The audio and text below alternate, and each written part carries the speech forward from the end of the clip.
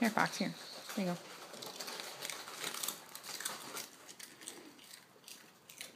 Good girl, Fox.